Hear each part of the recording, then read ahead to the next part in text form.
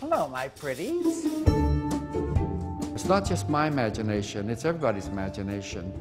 I have a huge curiosity, and that's what separates me from other photographers, because they're, they're interested in looking at something, but they never discuss the nature of what they're looking at. So if I see a woman crying, I want to know why is she crying? What's the nature of her grief? So I'm constantly on the frontier, that cusp between looking and feeling.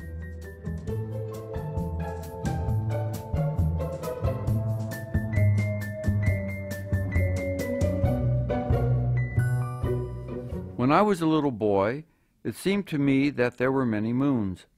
My grandmother had a moon above her house, and my other grandmother had one too. We had a moon over our backyard, and my best friend Art had moonshine through his bedroom window. Oh! Oh!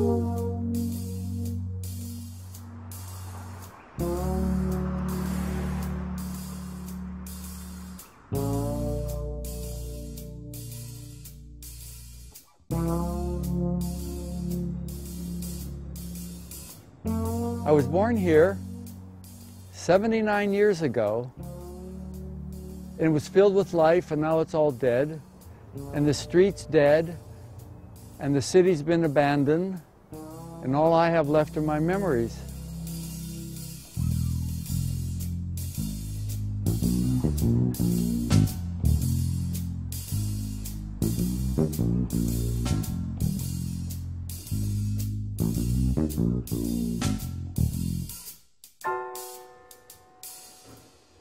I'm always particularly touched by this, this photograph of this room where I was born. And I have this feeling that if somehow the walls absorb all those thoughts and words and sounds and tears and fights and the snow on the window, if somehow it was all there. And I wonder if maybe when a house burns down, you could hear the house crying. I wonder if the house cries. I wonder if it makes noises in the crackling frame as all those memories go up in flame, you naughty child.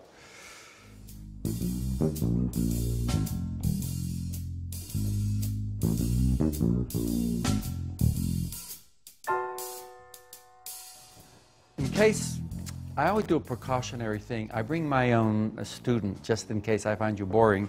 So I brought my student, and uh, if I find you boring and nobody asks questions, he will ask questions. Hello. Hello. Okay, good. It's, I, he's working.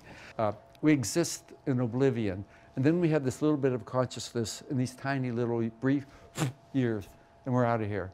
Anyway, so pay attention while you're here, okay? Because it's all going to go away, just the way yesterday did.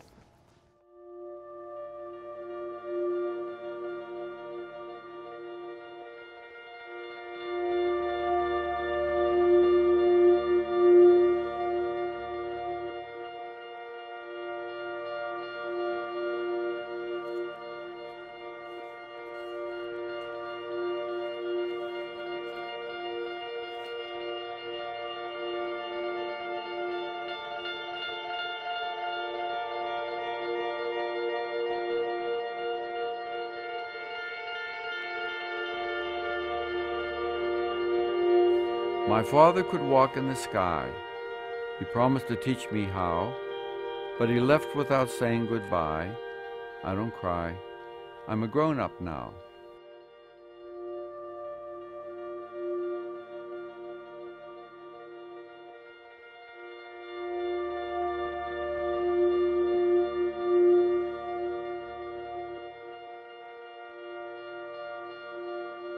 I'm Duane Don Quixote, the man from McKeesport. I've come here to free all the serfs. And this is my squire, Sancho Tanya.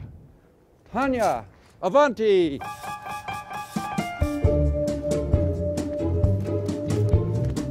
I've come to free the workers. Carnegie, where are you?